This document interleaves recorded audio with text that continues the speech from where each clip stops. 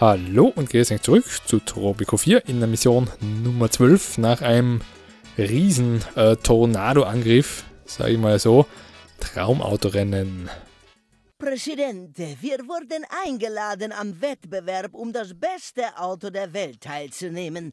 Wir wissen alle, dass das beste Auto das meistverkaufte Auto ist. Wenn wir vor dem Termin genügend Autos exportieren, gewinnen wir den ersten Preis und viel Geld. Leider fällt der Preis aller Autos, wenn wir verlieren. 400 Autos in vier Jahren, ja, das können wir später immer noch annehmen. Und kleine Randnotiz, die Fabriken jetzt hier zu bauen, natürlich extrem schlechte Idee, sollte man definitiv eher an den Strand bauen. Liebe und Frieden, Präsidente. Äh, nein, nicht die Hinweise deaktivieren. Was ich auch machen werde, warum, sage ich euch gleich. Einfach wegen den Transportwegen. Sprich, dass man nicht durch die ganze Stadt fahren muss mit dem Zeug. Hat das Ding der Platz am Strand? Hätte es, wenn denn Strom da unten wäre. So gesehen war es natürlich keine geschickte Idee, das Solarkraftwerk darauf zu bauen. Ja, aber kriegen wir schon noch hin. So, und ich glaube, ich leiste mir auch ähm, eine, weiß ich wieder mal, Find. Sag's mal, die Wetterstation. So. Okay, aber das bitte als erstes bauen, dass wir sie Fabriken aufstellen können.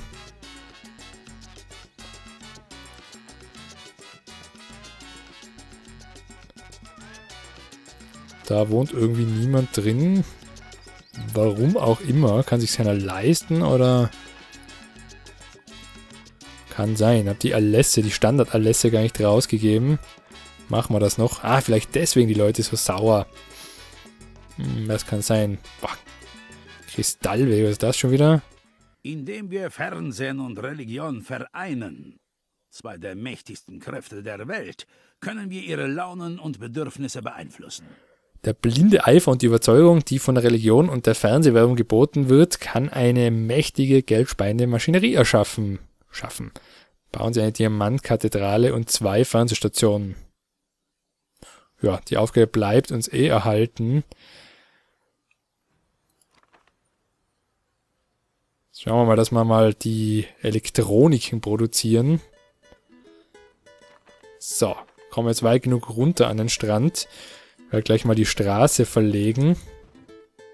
Beziehungsweise machen wir so, bauen wir vorher die Fabrik. Und dann die Straße passend entlang, falls sie noch vorbeigeht. Uh. Ah, leider nicht. Nochmal das Ganze. Geht sich jetzt aus. Kann ja nicht mal mehr ansetzen für die Straße. Okay. Kann sein, dass ich die einfach an den gleichen Fleck wiedergebaut habe. Ich glaube, ja. so. Noch ein Versuch.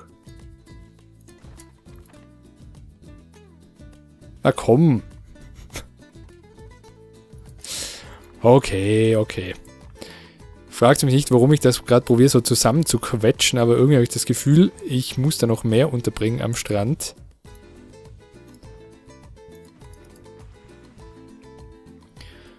So, das mal in Arbeit, zumindest die Fabrik an sich, dann könnte man eigentlich das Ding hier abreißen. Den ganzen Strom produziert ja unser Solarkraftwerk. So, an was scheitert es denn jetzt schon wieder? Religion, Unterhaltung, Unterhaltung. Habe ich nicht ein Kino gebaut? Ist das irgendwie... Ah.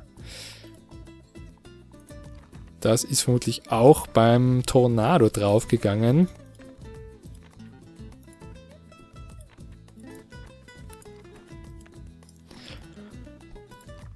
So, weitere Apartment-Blocks.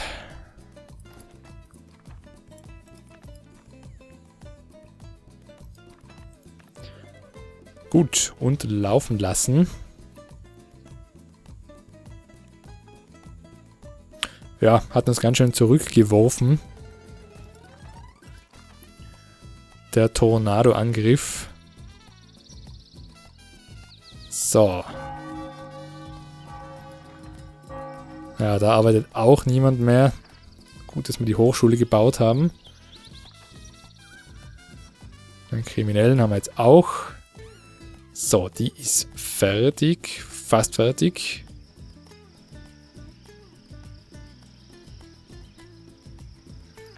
Die Importe lassen wir zu. Okay. Sunny Flowers mit der Stunde der Wahrheit.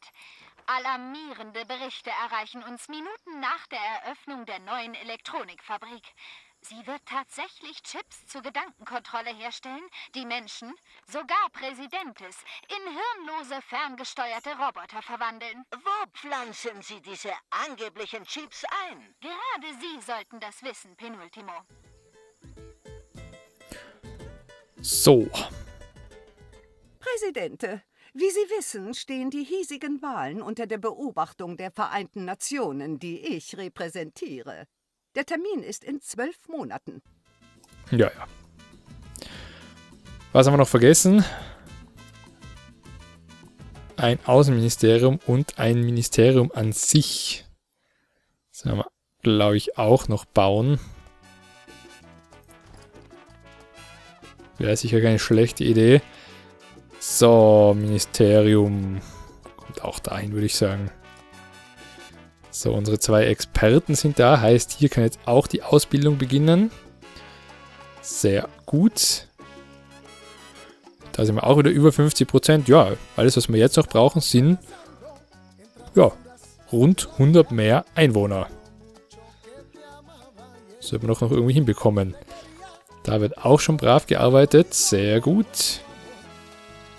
Was machen wir denn da? Exportpreise erhöhen sich um 15%. Das machen wir auch. Ja, sobald wir etwas auf der Seite haben, äh, Zollbehörde sicher auch nicht die schlechteste Idee. So, bauen Sie mehr Parks.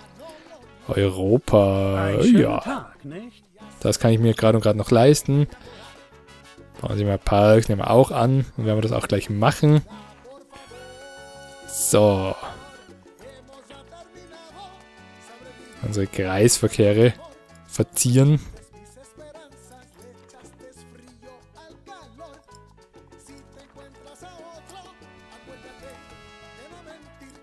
Bisschen zumindestens. Da kann ich behaupten, ich habe mir ein wenig Mühe gegeben mit der Deko. So.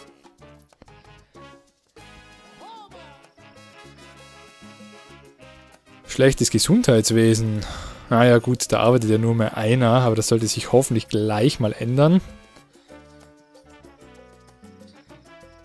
So, die ist auch noch im Bau. Da ist jetzt auch schon besetzt. Müssen wir nur noch... Ah, wir haben kein Geld mehr. Bisschen ärgerlich.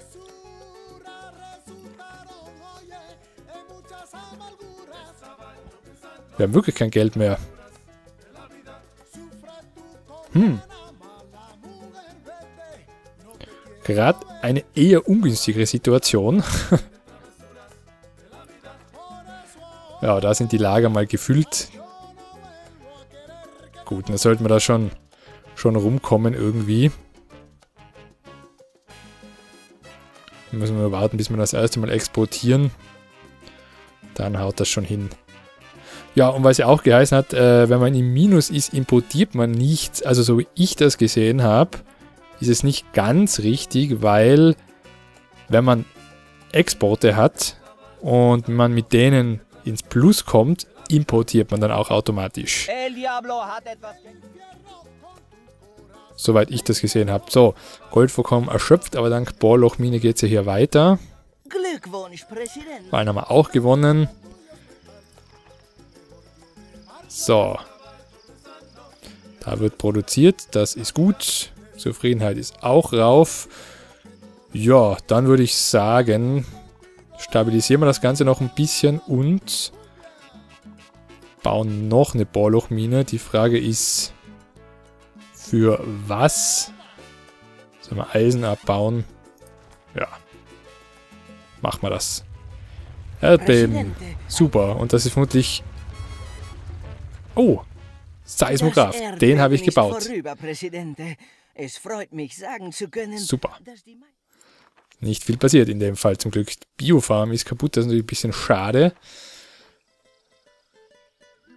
Sollten wir einfach da eben eine zweite bauen. So. Immer noch nichts im Ausgangslager. Das Erdbeben gibt es auch gute Nachrichten. Tropico hat einen Weltrekord erzielt, indem es ein Erdbeben der Stärke 96 auf der Richterskala überstanden hat. Ach, es gibt schlimmere Erdbeben als Stärke 10? Gewiss doch. Ich hoffe, das nächste Erdbeben bricht unseren Rekord in dreistelliger Höhe.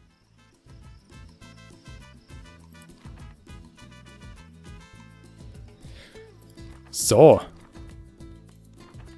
Sind wir echt mal knapp dran. Also so ins Minus kommen, das freut mich überhaupt nicht. Aber es passiert einfach extrem schnell.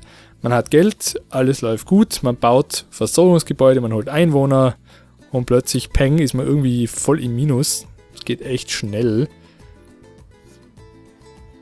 Aber ich habe mal gute Hoffnung, dass sich das gleich mal wieder ändert.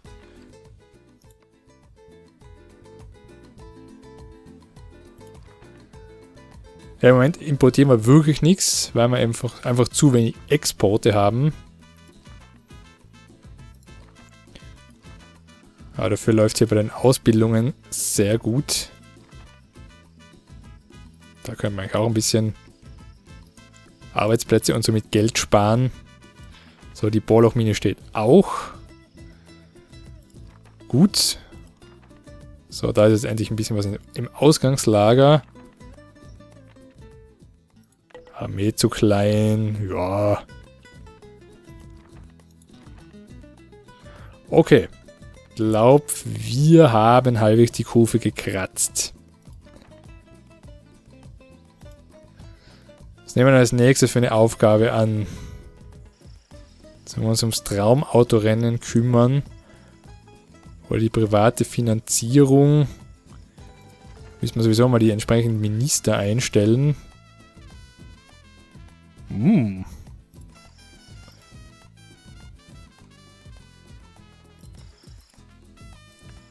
So. Oh, das ist ja wirklich gutes Angebot diesmal dabei. So, dann gleich ein paar Lässe rausgeben. Auch wenn es kostet, ist egal.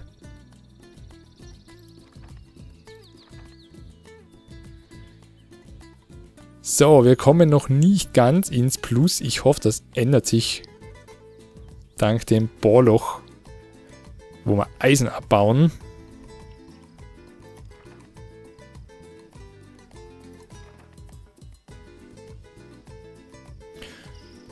Ja, also das wäre wirklich knapp, sage ich mal, ein äh, Spielstand, wo, wenn ich Offscreen spielen würde, eventuell nochmal starten würde, einfach weil ich weiß, es geht besser. Beziehungsweise offscreen wäre mir das Wart natürlich auch eher egal. Von dem her würde ich vielleicht sogar weiterspielen, einfach mal laufen lassen. So, jetzt können wir es uns ja mal anschauen. Wir haben da 13.000 Exportumsatz und sind weniger wie 13.000 im Minus, noch zumindest. Aber vermutlich geht das noch so weit runter, bis das Schiff kommt. Ah, aber der Exportumsatz geht auch rauf. Dann sehen wir ja, nach meiner Theorie müssen wir jetzt ein bisschen was importieren.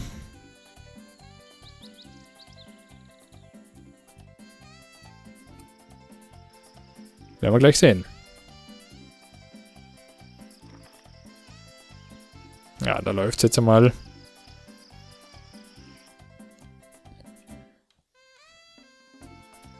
So, Schiff nähert sich dem Hafen. Schauen wir mal, ob wir das auch wirklich sehen.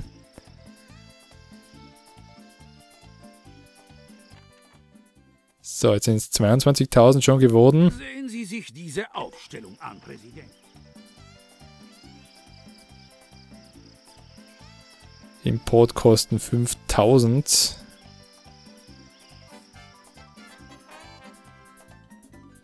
ist die Frage, ob jetzt importiert wurde oder ob sich das aufs nächste Schiff bezieht. Vermutlich aufs nächste. Obwohl, jetzt sind gerade ein paar Tausender weggegangen. Also ich... Hm. Gut, müsste man sich anschauen. Äh, ich kann jetzt gerade nicht zurückspulen. Aber ich hat, hätte, hätte gerade das Gefühl gehabt, dass es uns schon noch abgezogen worden ist. Naja, wie auch immer.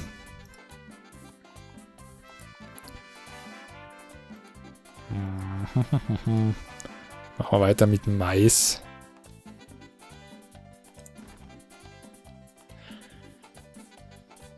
So. Autos.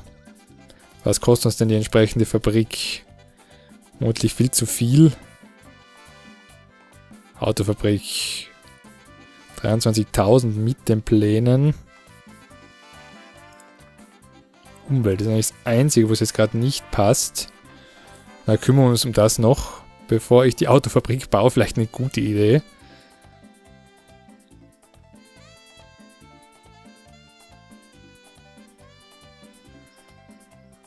Ja, und ein Fuhrparkbüro. Ja, ist die Frage, ob das genügt. Oh, was uns auch noch fehlt. Hm, habe ich ganz vergessen. Das ist ein Supermarkt. Viel vergessen in der Mission, kommt mir vor. Erdöl exportieren. Wisst ihr was? Das nehme ich an. Das machen wir. Nachdem wir uns um die Umwelt gekümmert haben, versteht sich.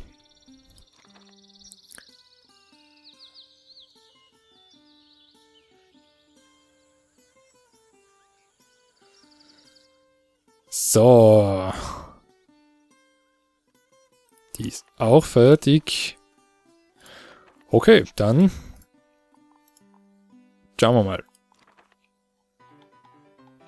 Ja, da am Strand und da schaut es schlimm aus. Nachdem wir hier vorhaben, noch eine Fabrik zu bauen, ist das sicher der beste Platz, um zu starten. Zwei Verbrecher. Ah, da steht sie. Importierte Güter 4000. 5000, obwohl wir im Minus waren. Also ich glaube, das haut wirklich hin.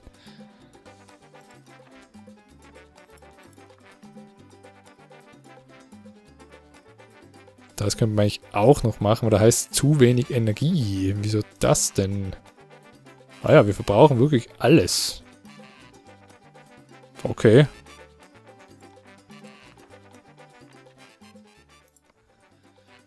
So, ich würde sagen, das leisten wir uns noch einfach vorsichtshalber, weil ich ärgere mich sonst, wenn wir eine Wetterstation haben und ich habe die Upgrades nicht gemacht.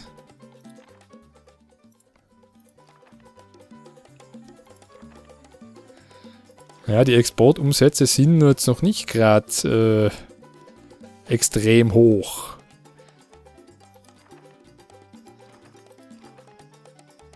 Ja, die Ausgangslage sind jetzt auch nicht überfüllt, von dem her an dem liegt es auch nicht.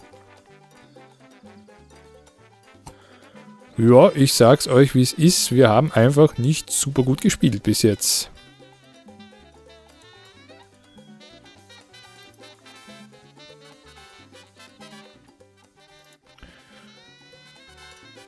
Ich brauche mehr Dinge, mit denen wir Geld machen.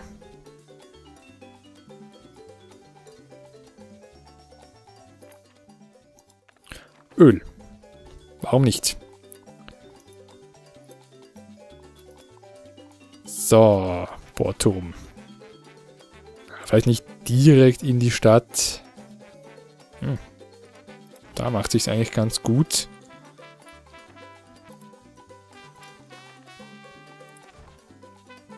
Ah, Moment, Moment, Moment. Wenn wir schon dabei sind. Machen wir auch einen Kreisverkehr draus und machen hier ein Parkhaus her.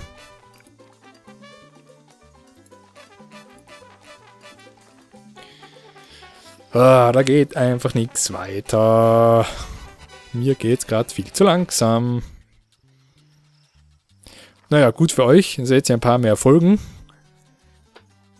Allerdings schlecht für mich, weil ich muss dann halt viel länger aufbleiben, weil ich das ja am Stück durchspielen möchte.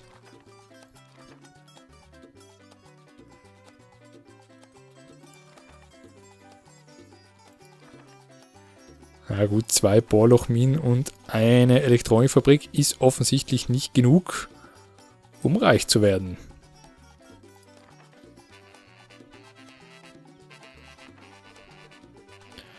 So, haben wir entsprechend gebildete Leute. Wenn nicht, hoffe ich, dass schnell welche in die Hochschule springen und sich ausbilden lassen. Da habe ich auch ewig nicht mehr reingeschaut. 22 Arbeitslose. Jetzt mal nicht extrem viel. Ah, super, da sind wir entsprechend besetzt. So, knapp ins Plus sollten wir auch wieder kommen. Dann baue ich gleich das nächste. So. Ja, wenn wir da als nächstes uns um die Umwelt kümmern müssen.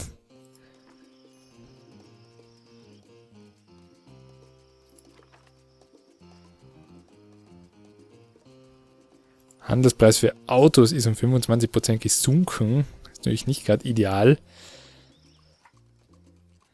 Ich glaube, ein zweites Fuhrparkbüro wird auch das nächste sein, was wir brauchen. So, da wird hoffentlich schon fleißig abgebaut. Moment sehe ich nur noch, sehe ich nur Minus.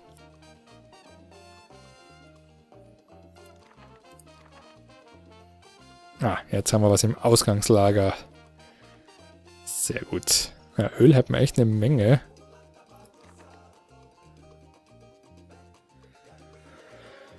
Ja, hm, was machen wir denn? So dahin dümpeln. Moment haben wir eh nicht viel Wahl. Ja, ein Fuhrparkbüro brauchen wir eindeutig. Ja, so langsam steigt's.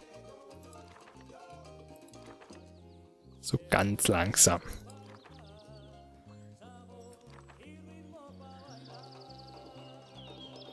Ja, Ölraffinerie wäre natürlich auch noch eine gute Idee. Ein zweiter Hafen wäre auch noch eine gute Idee.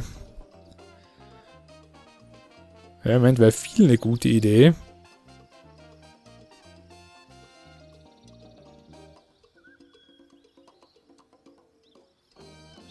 Wenn man so weitergeht, spielen wir bis zum Jahr 2020 oder so.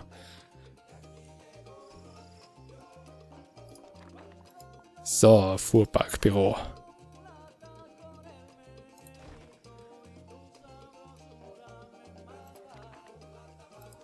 Gut, Pumpen laufen. Exporte steigen.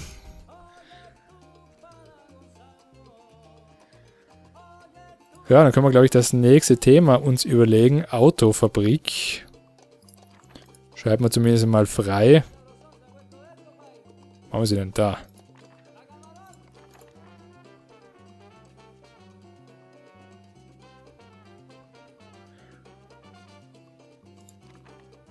Da schaut es auch wieder ein bisschen besser aus. Okay, ja, gut. Zufrieden ist was anderes, aber immerhin läuft's.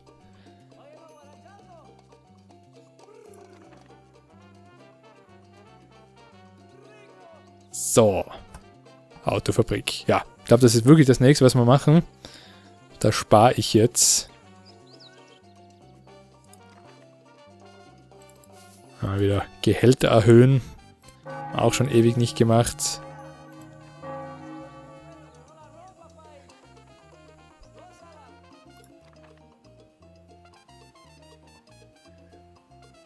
Ja, die Kathedrale wäre auch schon überfällig. Das kostet eigentlich ein zweiter Hafen. Auch nicht gerade wenig.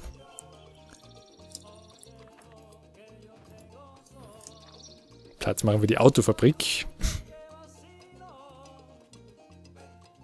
So.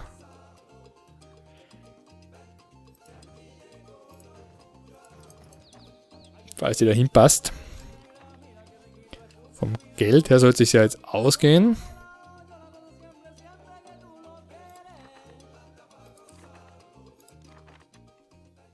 Präsidente, Ja, können wir eigentlich noch ein paar Pumpen aufstellen.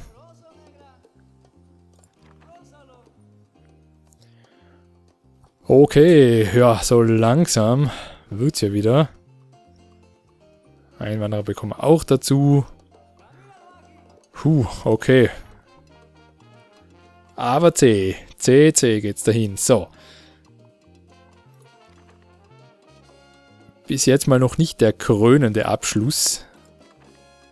So, soll ich das jetzt gleich annehmen oder noch ein bisschen warten? Ich glaube, ich warte noch.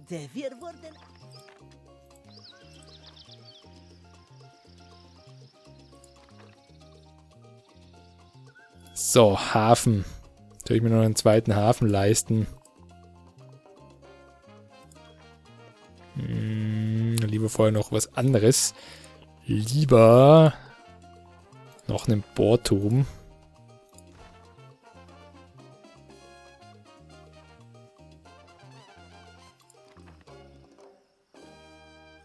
Gut, gut, gut, gut. Der Autofabrik ist auch fertig. Ich hoffe mal, wir haben die entsprechenden Arbeiter. Ah ja, wie sieht es mit Strom aus? Brauchen wir auch ein Upgrade, genau, nicht vergessen. Das sollte man auch gleich machen.